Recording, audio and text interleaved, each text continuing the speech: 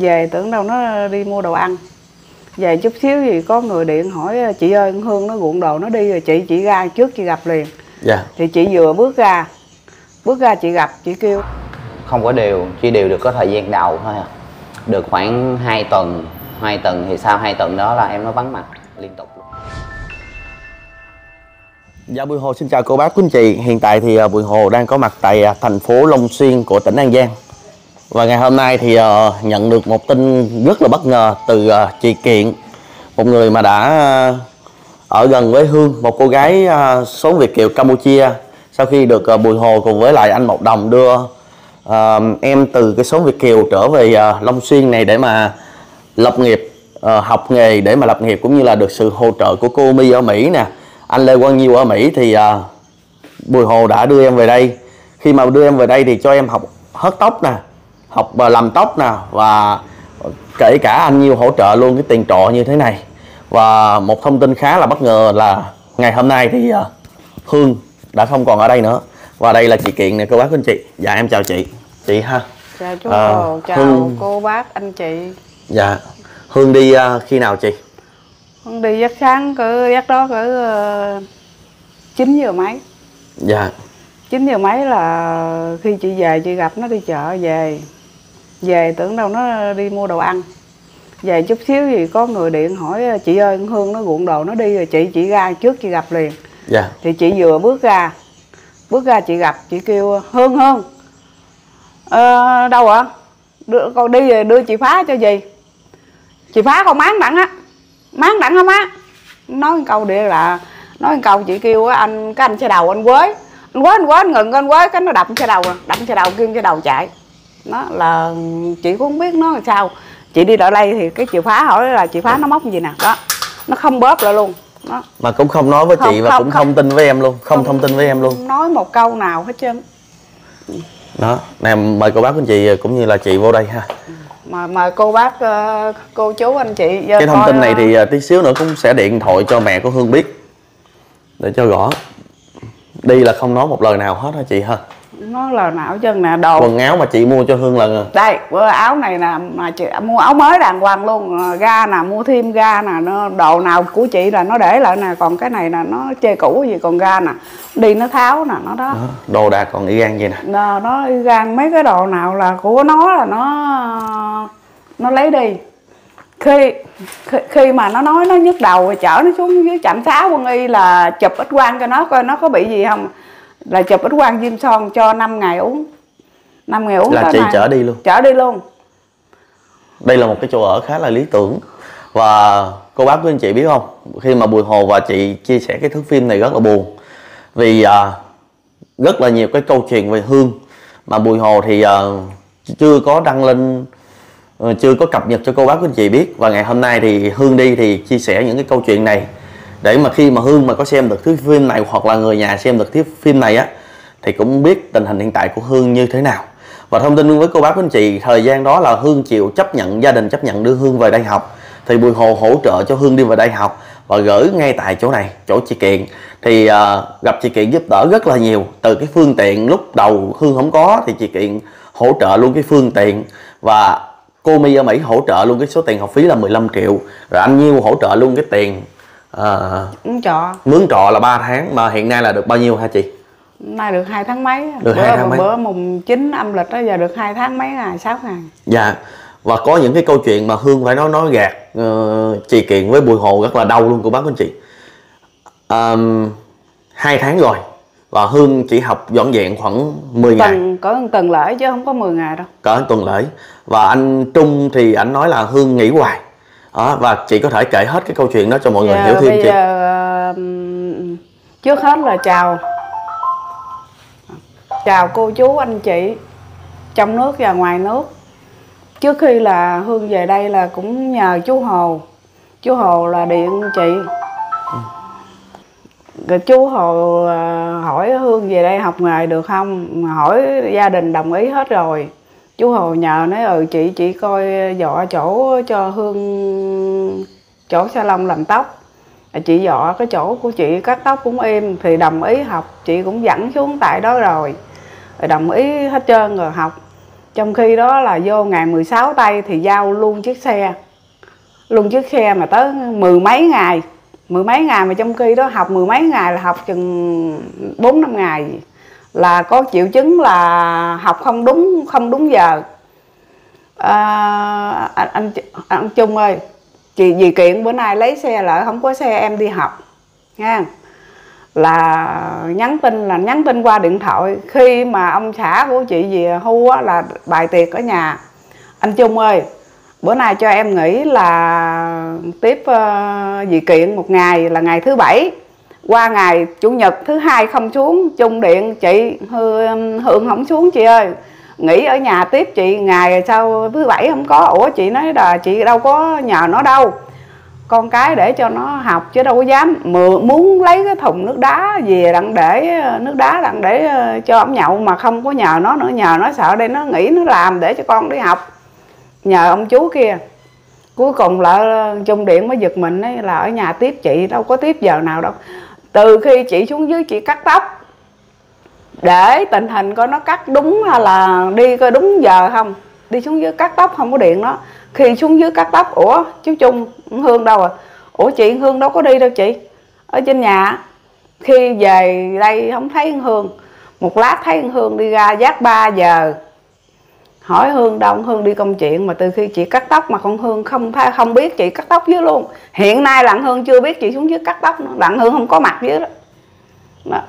là cái ngày thứ bảy hương đi đâu nguyên một ngày không biết mà nghỉ tiếp nhà chị là không có giờ phút nào hết. Có nghĩa là nói... không đi học ừ. nói với anh trung là phụ tiếp nhà chị nhưng mà không có tiếp. Sau đó là đi đâu nguyên một ngày nó mất gung á nói chung nói tới là nó tức nó gung luôn á trời. Ừ. sau đó là đi một ngày mất mất tiêu. Xe của chị vẫn cho mượn nhưng mà hương thì lại nói là chị lấy xe lại đúng không? Đúng đúng. Dạ không có đi học ừ, thời gian thì nghỉ rất là nhiều. Và thông tin với cô bác với anh chị có một lần á bùi hồ đang ở trà vinh á hương có nói với bùi hồ câu như thế này. Anh hồ ơi bây giờ em muốn mua đầu ken mua giáo án để học và mua cái cái, cái chân để dựng đầu ken á là tổng cộng số tiền là hình như là khoảng uh, năm bảy trăm ngàn vậy đó. Năm trăm mấy hả? Năm trăm mấy chục ngàn. Ừ, 500 xin mấy nói với bùi hồ như vậy cô bác quý anh chị thì à, lúc đó thì bùi hồ ở trà vinh đang xây nhà cho cô à, cô út. Thì à, bùi hồ nói là đây đó ngày mai anh gọi là em. Đó thì sau khi bùi hồ gọi cho anh trung á thì nói có thật sự là như vậy không? Thì anh trung mới nói là học theo giáo án của anh là cập nhật mới nhất rồi và học theo của anh thì nó dễ hơn và học theo giáo án ở trên mạng hay là lan man lắm. Với lại hương học ở tại chỗ làm á thì đầy đủ thiết bị hết có anh chỉ dạy tận tình luôn sẽ dễ hơn. Thời gian đâu mà học ở nhà nhà rồi học ở nhà ai sẽ sửa. Đó nên là nữ là đó là cái chụp hình gửi cho bùi hồ rồi có cái số tiền luôn. Đó, đó là một cái thông tin thứ nhất. Và cái thông tin thứ hai chắc có cô bác anh chị cũng nhớ rằng là có một lần bùi hồ đến thăm hương ngay tại chỗ cái tiệm hớt tóc hương đang làm. Và hương có nói là mua một cái chiếc xe. Muốn đi một chiếc xe thì bùi hồ nói là à, bây giờ em đi mua xe có xe đạp em đi được không? Thì nói chở con em rất là khó. Đó, thì anh thử là bùi hồ nghe cái thông tin đó và có rất là nhiều mạnh, mạnh thường quân nói là bùi hồ là hỗ trợ mua chiếc xe thì bùi hồ nói bây giờ ngưng không có mua từ từ để coi học hành như thế nào. Thì chị có thể thông tin về cái chiếc xe là hương nói với chị như thế nào cái chiếc xe mà mua? Chiếc xe mua là hương về là hương về đây trong vòng 3 ngày là hương ra giá xe đưa xe này gì chiếc xe này là 18 triệu 500 giống viết chút uh, good 3 là của uh, hãng uh, xe 50 giống chiếc Vespa hả? Ờ giống chiếc Vespa vậy đó, cái bẩn xe vậy đó là 50 18 triệu 500 giờ chị mới nói không thẳng từ từ đi con ờ, từ từ đi lấy xe của dì đi đi. Thì về dì đưa cho con mượn đó. Nó rồi nó không biết nghĩ làm sao ấy, chừng đi sao không biết nó nói sao bây giờ nó nó chặn nó chặn tự nhiên ha chị chị với nó là không có mất lòng gì hết trơn nha. Tự nhiên nó chặn cuộc gọi chị chặn zalo xóa zalo. Chị điện không được chị dặn nó là chị dặn nó là hai lần dặn luôn mà dặn mà bỏ không được. Lần cuối cùng nó là lỡ hương à. Con làm gì đóng cửa hoài hương là con nhức đầu nhức đầu cái mới nói thôi để gì điện, bác sĩ hô lên là chị chị điện tại phòng trọ này luôn. Chị nói là điện, bác sĩ quen á, nói có dưới không? Chị chở nhỏ cháu xuống dưới ừ, khám bệnh. Hỏi gì chị, nó nhức đầu. Xuống dưới là dẫn chị chụp ít quang lấy thuốc cho uống, đàng hoàng 5 ngày uống. 5 ngày uống rồi hỏi sao rồi, con hết rồi. Là thuốc còn bán nè bà con. Dạ mở này ra cho mát tí đi chiều chị rồi à, có nghĩa là nó nhức đầu chị vẫn chở đi khám bệnh hết luôn. Rồi lo ăn sáng đồ hết luôn. Lo ăn sáng lo toàn bộ hết trơn luôn. Dạ xích ra đây đi cho nó mát cũng được nữa đó cô bác anh chị thấy không? Bây giờ thì ờ, không bùi hồ thì có lòng đưa em về đây để mà học và cũng có thông qua với gia đình hết à. Và chị kiện thì cũng có bảo ban rồi cũng có đùm bọc rồi cũng có hỗ trợ cũng thậm chí là đi ăn sáng rồi chị lo hết luôn á nên thành nữ là hương không biết trân trọng cái điều này thì chắc có lẽ là cái việc này nó sẽ cuộc sống của em à, không biết như thế nào á. Cho bây giờ thấy bùi hồ cảm thấy vô cùng thất vọng luôn. Đó, và bùi hồ hỏi anh trung thì à, anh trung nói cũng nói không có đi học. Đó, cô bác anh chị thấy không? Thì bây giờ không biết như thế nào. Có một điều thông tin như thế này. Một lần gần đây nhất bùi hồ cùng với anh hợp với anh vũ có đi à, đi về có đi công chuyện rồi về ghé đây. Đó và lúc đó thì bùi hồ cùng với chị kiện rồi lại đây luôn thì khi mở cửa ra thì à, hỏi là bùi hồ hỏi là không có mời bùi hồ vào luôn. Hỏi là nay em em có đi học không? Cái nó nói mấy ngày này em hết tiền không có đi học. Thì lúc đó bùi hồ mới cho 2 triệu đó là tiền của bùi hồ. Tại vì nói là em không có tiền đi học gửi con gì đó. Thì bùi hồ mới thử lòng không có sức tiền của mạnh thường quân nha cô bác anh chị? Đưa 2 triệu nói ngày mai em đi học và cuối cùng là sao chị kiền cuối cùng là chú hồ hỏi chị thấy hương có đi học không? Rồi chị nói chị lờ đảng không có nói hai mẹ con nói nhà đâu có học hành gì đâu. Đó. Giờ chị cũng không biết nói sao. Hương gì gì, gì con có coi clip này gì với con có mít lòng gì không con cứ nói đi. Tại sao chặn cuộc gọi gì? Xóa zalo gì? Xóa zalo của chú hồ chặn cuộc gọi chú hồ nó dì kêu con á là mấy ngày con chặn cuộc gọi chú hồ dì kêu con á là con con điện đưa anh hồ đi anh hồ buồn con dặn con đó nghe. Con điện đi. Không điện cái nói á là uh, máy con hết tiền. Thì điện bằng zalo? Rồi nói điện bằng zalo đâu có tốn tiền đâu. Cái đằng sau chú hồ hỏi máy đâu không điện chú máy mắc rồi. Đó. mà hương có một cái dấu hiệu rất là lạ như thế này. Mới về đây thì à, đã bán sữa kiểu dạng như đa cấp với cô bác anh chị sữa đa cấp mà Ờ, sữa một cho những người mấy trăm già già bao tử với ngăn ngừa huyết áp mà đó nên là nữ là là bùi hồ nói là việc học đầu tiên là xuống đây là mình phải học chứ không phải mình ban buôn bán. Buôn bán là cái đó là chuyện khác rồi. Mình học để mình đổi đời thì mình không đi học. Ở bây giờ mọi thứ nó đều nó đều rất là gối luôn. Và khi chia sẻ clip này thì tất chắc có lẽ là cô chú anh chị mạnh thường quân rất là buồn rất là buồn hương và cũng thất vọng cho bùi hồ. Thật ra thì thưa cô bác anh chị là bùi hồ qua chỗ phòng trọ của hương đến thời điểm này là được mấy lần chị? Lần này là bốn lần hay ba lần? bốn lần. Mỗi lần này em, em chị đều đi lại đây hết đúng không? Là bốn lần. và bùi hồ cùng với lại chị kiện cũng đều đi lại thăm. Tuy là lại bốn lần thôi nhưng mà bùi hồ cũng thường hỏi chị kiện rằng hương có đi học không? Và mấy chị em cũng thông tin về để theo dõi cái tình hình học hành cho sát sao thì hương không có đi học. Ở mà chưa về trơn thì lại đòi chiếc xe gắn máy. Ờ, cô bác anh chị thấy như vậy thì thật ra thì đi phương tiện, đi bằng xe đạp, đây là đó cũng gần, không xa. Đâu nhất thiết là phải một cái chiếc xe gắn máy. Nếu như mà mạnh thường quân thấy có học ổn định thì bùi hồ sẵn sàng nhận chiếc xe gắn máy cho hương. Tuy nhiên trong thời gian đó thì hương không có cố gắng học hành gì hết trơn á. Lo làm những cái công việc gì nó rất là lạ. Và thậm chí là chị kiện nói là lên đặt hàng ờ, online ở trên mạng shipper giao rất là nhiều hả chị kiện Lừa super giao có ngày đó ba quận. Là một ờ, một đơn hàng đó là 400 ngàn không biết đơn hàng gì còn mấy đơn hàng kia trong thùng trong gói với ờ, đơn hàng đơn hàng món đồ ăn ờ, giống gà gán á.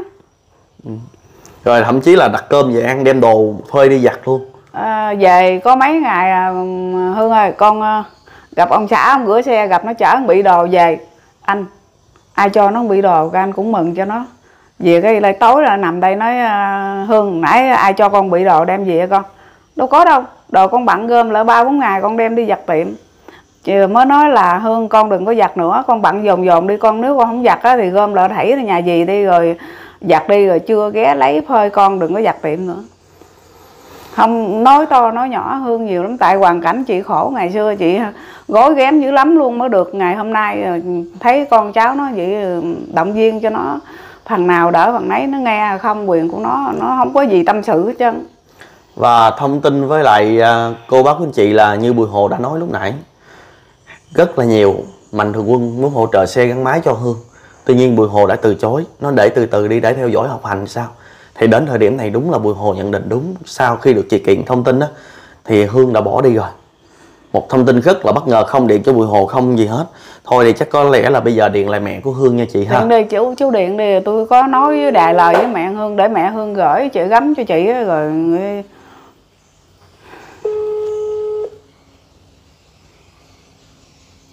đó, bây giờ thì rất là khổ là như thế đó. Đó có những việc mình khổ là tại vì bản thân mình không cố gắng chứ không phải là mình cố gắng mà nó số mình khổ. Nên thành thử ngày hôm nay là mấy chị em cũng rất là buồn. Nhắn Đó. nhắn nhắn tin nè nhắn tin là nói chị lấy xe lại là có lấy ngày nào đâu. Nhắn tin với anh Trung đúng nhắn không? tin với thằng Trung nè rồi anh Trung mới trả lời Với lại chú với Trung chị là là chú Trung đâu có hay đâu. Nhiều cái giai đoạn bữa thứ bảy mới lòi ra cái bệnh nó dốc và chị mới biết. Đó. Rất là buồn rất là buồn của bác anh chị. Bây giờ là mướn xe ôm là tự đi luôn muốn cho ôm đi mà kêu uh, hương hương nó đập đập đập đập, đập cho nó có cái vai của xe ôm á là kêu xe ôm chạy đi mà xe ôm quen với chị để chị hỏi xe ôm coi nó hương đi hướng nào. Em Đi. điện gia đình không mất máy luôn nè. Đó, rất Để- khổ. chị điện. Điện zalo thì chị? Chị điện thường chị điện bữa đó nói chuyện với bà là hết 40 ngàn luôn. Ờ điện chị hỏi con hương nó- nó có bị bệnh gì không? Mà thấy nó lừ đừ lừ đừ. Mấy ngày nay có dấu hiệu rất là kỳ đúng không? Đồ đạc này nè mua đầy đủ hết nè bây giờ không biết sao luôn. Đi không một lời từ biệt không có bùi hồ thì không có ừ.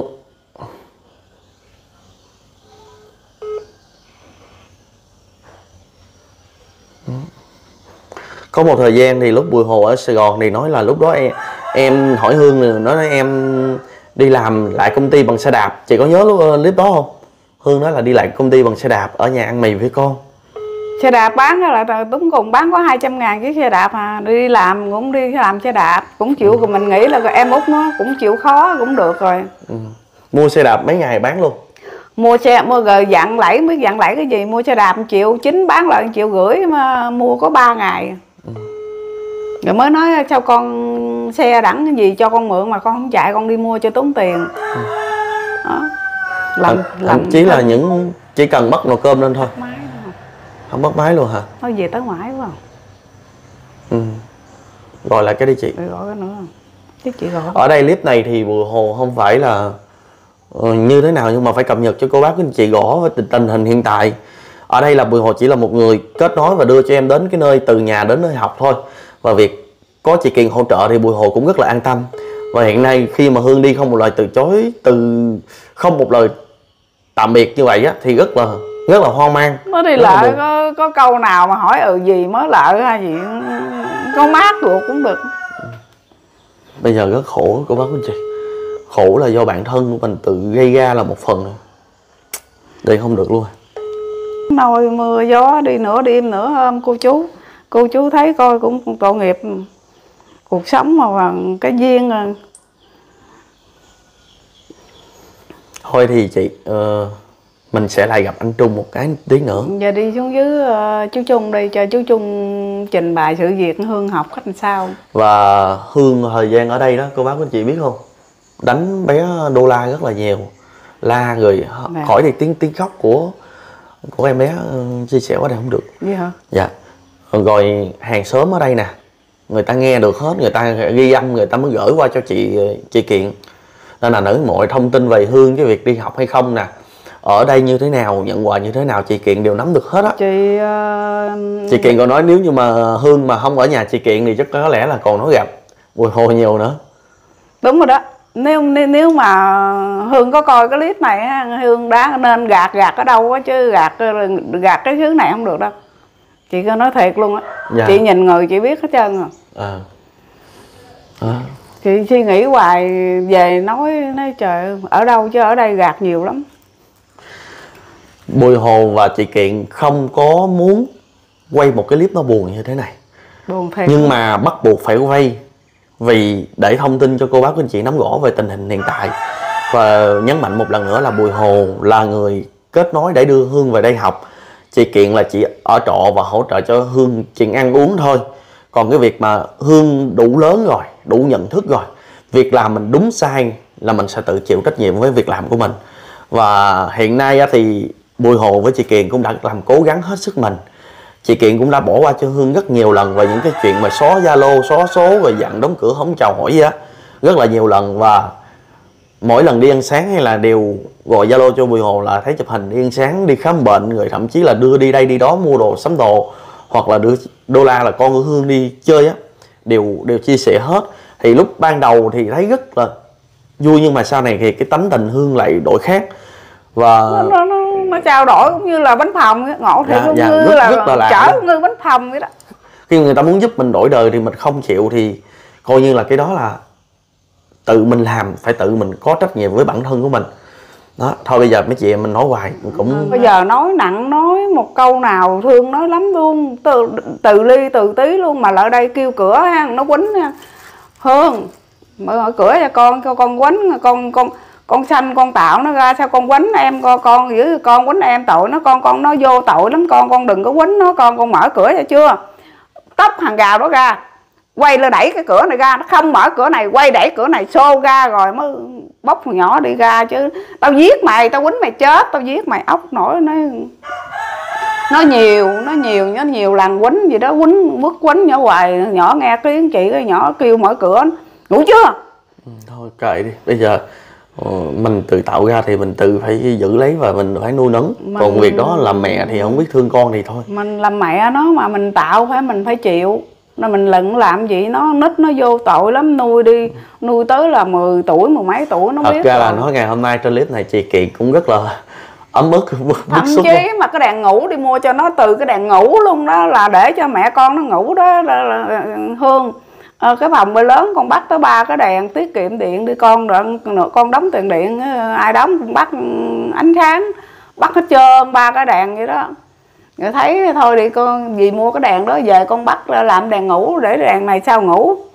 Chị cứ ờ, cho ai thuê lại đi ha. Ừ, rồi, Dạ. rồi còn nhiêu tiền thì chị tính luôn rồi gửi luôn. Rồi sao nữa đặt cọc mà sao gửi luôn là sao? Đưa chị 3 triệu mà tiền điện tiền nước nó có uh, dòng đi dòng lại chừng 2 triệu rưỡi hả? Rồi còn cũng còn dư dư cũng có 500 đi từ. Thôi đi đi. Để nữa có đâu không đó là chị tính đâu đó đàng hoàng tại chị coi cho bà bạn chứ không phải của chị. Dạ. Đó. Chị nghĩ là đồ đạc này kia đó đi bỏ chừng gì nữa rồi nó không biết sao nè. Đem từ cái thấy mua chai xịt kiến này kia nó là từ cái cái nào nói sắm là nó để lại cái cái nào là nó tùm lum chứ mà. Kéo, kéo nè rồi đi chứ mà đi chị ơi. Thôi mình khép cửa lại đi ha. Đi chị đóng cửa dạ hả? chị cho người khác mướn giùm em đi. Rồi đâu có sao đâu. quay trở lại cái salon của anh Trung để à, nghe anh Trung trao đổi về cái à, tình hình học tập của Hương ở trong thời gian qua. Anh Trung ơi à, thời gian qua thì Hương đến cái chỗ mình á học salon của mình á học thì thời gian biểu như là đến lớp tụt có điều không anh Trung? Ờ, em nó học không có đều chỉ đều được có thời gian đầu thôi à. được khoảng 2 tuần hai tuần thì sau hai tuần đó là em nó vắng mặt liên tục luôn. Ừ, nhưng mà cái thời gian thì em nó vô cũng không có tập trung học được. Cũng có hỏi thăm nhưng mà em nó cũng không có tâm sự là có vấn đề gì không. Dạ. cứ gì thôi. Là chỉ à, đến thời điểm này là hai tháng rồi. Đúng rồi. Thì à, học hai tuần đầu thôi. Đúng rồi. Mà học không có đầu óc không có tập trung hả? Đúng rồi. À có một lần em điện cho anh về cái việc mà cái đầu ken á à, Hương rồi mua đầu ken với lại cái giáo án gì ở trên ờ, mạng với lại cái chân giận gì đó. À. thì đối với anh thì một học viên mới thì có cần thiết cho cho mua đầu ken học, học tại nhà không anh Trung? thì ờ, cái đó là ở đây anh đã trang bị rồi hết rồi. Bởi vì ờ, khi mà em nó cần thiết ở nhà đó anh ấy cũng không cần thiết gì. Tại vì giáo án ở đây học anh cũng đã có giáo án rồi. Dạ. còn đầu ken thì đây anh đã chuẩn bị sẵn rồi. Với bằng mới học á cần phải có người hướng dẫn. Còn về mà tự học á giờ đúng sai thì mình cũng không biết được bởi vì khó lắm. Bởi vì anh cũng khuyên là khoan hả? Chừng nào nắm căn bản đi rồi hả? Tự học. Nhưng mà em nó tới ở đây có sẵn mà em nó còn không chịu học nữa rồi. Ví dụ đem về nhà rồi em nó cũng không học đâu mình đâu có kiểm soát được. Có một lần hương nhắn tin với anh là ở nhà để phụ chị kiện đúng rồi đúng, ờ, vào một ngày đám với lại chị kiện lấy xe hả anh trung đúng rồi. À, cái đó là hương trao đổi hẳn với anh. Tại vì à, thường học viên mà nghỉ anh hay hỏi thăm có lý do gì để nghỉ không thì em nó nói là ờ, ở nhà chị kiện có đám tiệc vậy đó. À, em nó ở nhà để hỗ trợ tiếp chị kiện dọn dẹp với đại khách. Dạ. Ừ. Rồi à, có một số lý do là giống như à, ừ hôm đó chị kiện lấy xe đi công việc em nó không có xe để chạy đi xuống đây đi học vậy đó. Ừ, thì những cái lý do nghĩ của em nó thường là như vậy. Trong vòng một tháng nay thì hương không đến chỗ salon mình luôn. Đúng rồi không đến luôn mà cũng không có liên không có liên lạc không có báo cho anh là ừ có công việc hay là có gì luôn không báo anh nghỉ Đúng học rồi. không báo luôn. Đúng không rồi. đến luôn. Đúng rồi. Có một lần em ghé thăm hương có chị kiện thì em có gửi em có mở cửa hỏi hương thì hương nói là "Ờ, em hết tiền em ờ, mấy nay ăn mì và con cũng hết sữa uống không có tiền gửi. Thì lúc đó em đi cùng với mấy anh về thì ghé hương cho 2 triệu. Rồi sau đó là hương nói là ngày mai em đi học. Vậy là cũng không có đến lớp luôn. Đúng rồi đúng rồi đợt đó anh có nghe là hương cũng không đến đâu. Trời ơi. Hôm nay tự nhiên thấy ờ, thấy hụt hẫng quá. Chị kiện có muốn nói gì không? Có chơi không đây vậy em nói à. Dạ. Nói mới tức cái tức là lý do là hương nó tạo lý do là chị lấy xe là không có xe nên hương đi học. Mà chị hỏi coi có lấy ngày nào lấy ngày nào đâu mà đi từ ngày 16 giao xe luôn luôn cho đi học mà nói chị lấy xe là không có xe nói với chú Trung là dì kiện lấy xe là không có xe đi học. À, dì hỏi lấy ngày nào giờ nào có lấy đâu luôn luôn chiếc xe cho nó luôn. Thậm chí là chồng chị chở chị đi ờ, chợ mà. Nghe chú Trung nói là chị lấy xe có lấy nhưng bằng gì nè sáng là 9 giờ Hương mới đi học. Hương ơi đưa đưa em đi trẻ đi Hương ơi về rước gì đi ăn sáng là chút con ờ, gì đi về là đi học luôn Hương ơi là có có đó là cái kêu mà nó đi ăn sáng thì có ngày nào cũng có đi ăn sáng với chị. Mấy bữa mới về là coi như là chở đầu này chở đầu kia đi ăn sáng. Thì có có uh, hai dì cháu. Tập xe cho nó chạy luôn mà. Nó đâu biết chạy xe tay ga đâu nó tập. Tập nó buông xe cho nó chạy được. Nó nói nó chạy xe số mà nó không biết xe tay ga. Rồi mới chỉ chiếc xe cho nó chạy rồi buông luôn chiếc xe cho nó mà nó đỡ chở rồi nó nói là anh Trung ơi, bữa nay dì kiện lấy xe đi công chuyện, không có xe đi học, là thật kế là chị không có lấy ngày nào nha. Rồi nói ờ, anh Trung ơi, bữa nay nhà dì kiện có khách ở ờ, thứ bảy tiếp nhà dì kiện mà thực tế không có tiếp giờ phút nào, không có bữa nào mà hương lại nhà gì tiếp cái chuyện có nghĩa là chị kiện thì muốn hương đến salon học. Không có ờ, kêu hương phụ. Nhưng mà hương trốn học ngày đó thì nói với lại anh trung là phụ đám nhà chị kiện mà không có phụ đám rồi không có đến lớp luôn. Thành thử là ngày hôm đó là vắng chị kiện nói là vắng mặt. Ở ở phòng trọ cũng không có luôn. Em muốn hỏi này dạ có lần nào mà hương nói rằng hương đạp xe đạp xuống đây đi học không? Anh? Có Có một có lần. có. À. Đó, có anh một lần một và một lần lần Dạ. sau nó bán xe luôn. Bữa sau lại bán xe lại mua 900 bán lại triệu rưỡi. À, triệu chín Dạ. bán lại triệu rưỡi. Ừ. có một lần đạp xuống đây đi học. Có một đúng lần rồi có một lần anh thấy em nó chạy xe đạp xuống đây còn đó. vấn đề xe thì anh không biết của ai nhưng mà anh có thấy em nó chạy xe xuống. Xe dạ thì có tâm sự gì với anh không anh trung? Chứ chị kiện là hương không thời gian sau này là hương không có tâm sự gì và cũng không có điện cho em chặn zalo em. Em điện không được điện hỏi thăm không được. Tại vì khi mà đưa hương về đây để mà học á để hỗ trợ em về đây học ngay tại chỗ chị kiện nè thì em có nói câu là có khó khăn gì cứ nói với anh để anh hỗ trợ. Thì có một lần đó chị nói với em một lần duy nhất là đòi mua đồ ken này, em có thông báo với anh như vậy đó. À, thì à, để em xuống đây muốn đính chính là rằng là việc là hương không có đi học. Như những gì là hương đã nói với em với lại chị kiện. Tại vì em thì cũng, với lại chị kiện cũng đã hết mình hỗ trợ để cho hương được tìm một cái nghề nào đó. Nhưng mà bản thân của hương thì không cố gắng thì mình, dù cho mình giúp, cố gắng giúp đỡ cỡ nào cũng không có được. Số phận của em thì em phải tự thay đổi lấy chứ không ai thay đổi người ta chỉ giúp mình những cái lúc ngặt nghèo thôi còn những cái lúc ấy thì mình phải tự vươn lên. Bản thân mình cũng phải tự vươn lên chứ không có thể nào mà người ta phải hỗ trợ mình hết mình phải năng lực của mình. Mà hôm nay thì đến đây gặp anh Trung như thế này thì chia sẻ cho cô bác anh chị biết về tình hình của Hương như vậy. Và hiện nay thì hương đi thì không có nhắn một lời nào gọi cũng không được gọi gia đình cũng không bắt máy luôn. Cũng khá là lo lắng. Dạ không bắt máy luôn. Đó thì à, thôi thì chắc có lẽ là hương sẽ kết, kết thúc. Nghỉ học ở đây luôn đó anh trung Kết bỏ đi luôn rồi. dạ cũng ờ, cảm ơn anh rất là nhiều đã ờ, chia sẻ em những cái thông tin về tình hình học tập của hương á. Thì ờ, để cho em và mạnh thường quân có thể nắm rõ được tình hình hiện tại luôn. Cảm ơn anh rất nhiều. Chúc salon anh càng ngày càng phát triển và đừng có buồn em nha với lại chị kiện. Đến đến đó mà chị nấu cơm rồi mà kêu nó mở máy lên đặng điện lấy đồ ăn.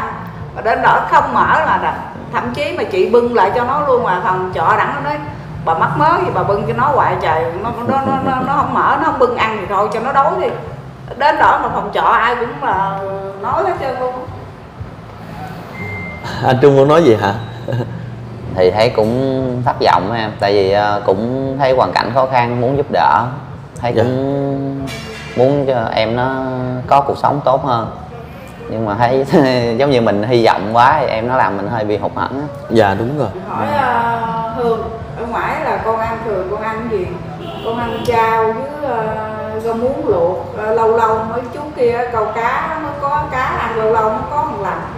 Chị mới thấy gì mỗi buổi sáng là rủ con đi ăn sáng chở đầu này chở đầu kia mấy món ngon ngon. Hỏi sao hơn con ăn sao? Ngon mấy món này ở ngoài không có không nấu ngon được như gì đâu chị ơi chở đi đầu này đầu kia là đi coi như là ngày nào sáng nào cũng có chở. Ta tưởng là chở con chị không? Ủa là bữa nay mà có đứa con nào nữa? Thôi thì à, vậy đi chị. Mình cũng chia sẻ ờ, một video này với lại về hương coi như là video kết thúc về cái câu chuyện của hương. Ờ, bây giờ thì cuộc sống của em thì em tự lo lấy chứ em không có tham gia vào cái cuộc sống. Chị em mình cũng coi như là hết duyên rồi hết duyên với hương rồi. Cô chú anh chị ơi mai mốt nữa ờ, tôi nói với chú Hồ là giúp cho già lớn tuổi neo đơn mấy đứa nhỏ nhỏ con cháu nhỏ nhỏ đồ. Còn cỡ 18, 19, 20 nằm hàng 30 mấy kêu chú Hồ hạn chế lại nữ xinh đẹp này thất vọng hai đứa. À. nó còn lại ra ngoài tiệm còn hỏi "Ờ, con quỷ kia đâu? Nó còn đâu biết nói người ta mà nó không biết nhận thức nó là gì. Mà thôi thì mình nghĩ là thôi kệ đi con cháu nó lỡ làm không lẽ lần này nữa đâu đi ra luôn. Dạ thôi đi hai chị em chị cũng đừng buồn ha. Cảm ơn chị ờ, cùng đã đồng hành với em. Dạ đồng hành với em để hỗ trợ cho hương. Lúc thì anh trung cũng ờ, cũng đừng buồn nha. Dạ cảm ơn anh rất là nhiều. Cũng đã anh em về chị cũng đã cố gắng hết sức mình và thậm chí có sự chung tay của mình quân. Còn em không có cố gắng phấn đấu để mà thoát nghèo hay là thoát khó khăn thì đó là chuyện của em rồi chúc anh cùng với salon của mình luôn càng ngày càng phát triển ha. Đặc biệt tết này càng ngày, ngày càng nhiều khách. Rồi anh cũng cảm ơn. Dạ dạ cảm ơn anh. Nói là ngày nay hương đi mà không có nói với con là hương đi ờ, về tới chứ con nó đi bữa nay hả chú? Dạ. Chưa chưa thấy gì đâu chú. Hương đi không có báo với con tự nhiên bỏ nhà trọ đi luôn trời à ai biết đâu không biết nữa. Đâu có đâu có thấy nó hay đâu. Ngày nay chị kiện có nói cho con cho con nghe. Con mới giật mình con xuống thăm thì bây giờ đi mất tiêu rồi. Hổm gài là một tháng nay không có học. Dạ. Dạ thì có gì hương có gì về cô liên lạc với hương giùm con coi được cô cho con hay liền. Tại vì rồi, rồi coi để coi tối nay coi nó có giờ xuống không là mai giờ coi giờ nào có nó xuống tôi cho chú hay chú. Dạ tại bây giờ Hương á là không có học. Rồi khoảng một tháng nay là không có đi học Rồi hôm Dạ. trước con có ghé một lần là con gửi cho Hương 2 triệu để đi học Nhưng mà qua ngày sau Hương vẫn không đi học luôn Đó Dạ. Thì nó, Hương nó bị bệnh thì chị Kiện có chở đi bệnh Dạ. thì cuối cùng là bị viêm son thôi không có gì Thì con Dạ. ngày hôm nay là Hương đi không có nói với con Nhưng mà chị Kiện thông báo với con thì con trở về lại Long Xuyên Thì là Hương Dạ. đi mất rồi dạ dạ Dạ thì con đó tại vì à, lúc đó tới giờ không có điện cho nó được luôn á chú Dạ thì không biết thì ờ, chị Kiện cô có điện cho chị Kiện được đúng không? Dạ đúng. Dạ nên thành thử là bây giờ là cô điện lại cho chị Kiện liền. Con thông tin với cô á là đợt vừa rồi con có nói với cô là con đưa con hỗ trợ đưa Hương về đó để học để ở luôn. Đó Dạ. thì con cũng có ghé thăm Hương có hỏi chị Kiện thì Hương có khó khăn gì cứ nói với con. Mà Hương Dạ. chặn Zalo con con không biết là vì sao á. Rồi Dạ. có, có có khó khăn gì không? Không nói với con. Không không có thông tin về, về gì với con hết á dạ. Đó nên thành thử là con thông tin lại với cô là hương ngày nay đi cũng bỏ đi không nói với con để chìa khóa không khép cửa đem đồ đi luôn. Dạ. Dạ thì bây để, giờ để coi đành là tôi nói với chú là ở đây hồi lúc đó tới bây giờ luôn. Không có điện cho nó được thành là tôi điện cho cô ờ, kiện chỉnh là được hai ba lần gì đó. Rồi Thì- ờ, rồi ờ, dạ cũng có hỏi thăm nó mà bây giờ ờ, tới bây giờ luôn tôi cũng không điện cho nó được luôn. Thì nói chú không có liên lạc không có gì được trơn không biết làm sao luôn.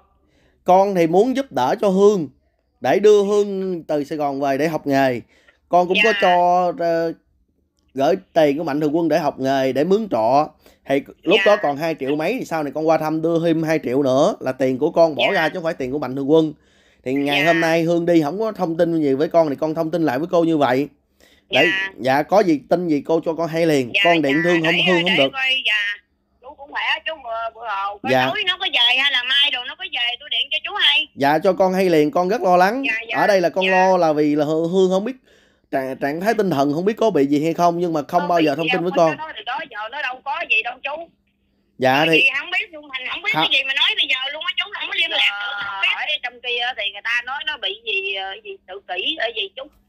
Dạ học thì không có học. Đó con thông tin với cô vậy á.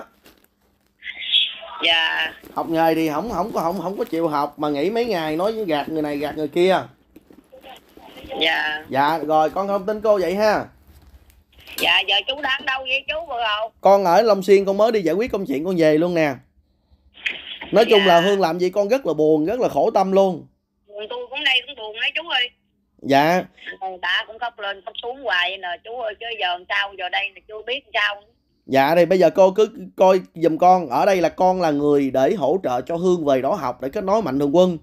Thì con cũng có thăm hỏi này kia Con ví dụ như mà Hương có muốn về Thì nói anh Hồ ơi em học không được Bây giờ cho em em về lại trên kia Hương có ở nhà đi con con mới biết được Xử lý mấy chuyện kia Hương về đến nhà Dạ. hoặc cô liên hệ được cho con hay Hay cô dạ ha dạ Rồi bây giờ Dạ. con chào cô ha dạ chào chú cho gửi lời thăm chú một đồng đâu khỏe nghe chú Dạ cô có ấy Dạ. cho con thay hay tin liền Nên là nữ con Dạ, rất là dạ. lo lắng chuyện đó học hành thì học không được thì nói với con là học không được hay là như thế nào không Dạ. thông tin với con rồi hôm trước rồi xin tiền con để mà mua đầu ken đầu gì á thì con nói để vậy con Dạ. giải quyết sau con vẫn có cho Dạ. Hương 2 triệu và con ghé thăm con thông tin với cô như vậy. Hay cô dạ. ha? Dạ dạ. Dạ, con chào cảm cô. ơn chú. Dạ chào chú. Dạ.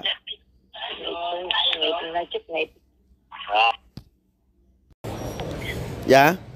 Dạ chú nghe không? Dạ nghe nè cô. Dạ nó đi về rồi tối rồi chú. Vậy rồi hả? Tôi la nó rồi, rồi tôi la nó rồi đầu rồi nó xuống đây tôi la nó rồi đi bờ luôn rồi chú. Đi đâu đi đến bờ ngủ với bờ không biết ngủ đâu nữa. Vậy là về nhà cô rồi đúng không? Nó về nhà chỗ này rồi cái tôi la nó đi nó đi bờ luôn mẹ con đi bờ lại rồi. Dạ rồi vậy ha cô ha? Dạ dạ cho chú hay vậy Nè, nè, nè, thôi đừng có buồn nghe chú. Nào Dạ. có chú xuống thì xuống. Dạ. Dạ dạ dạ. Dạ chứ tôi cũng không biết cái gì đâu chú ơi. Rồi rồi rồi con cảm ơn cô con chào cô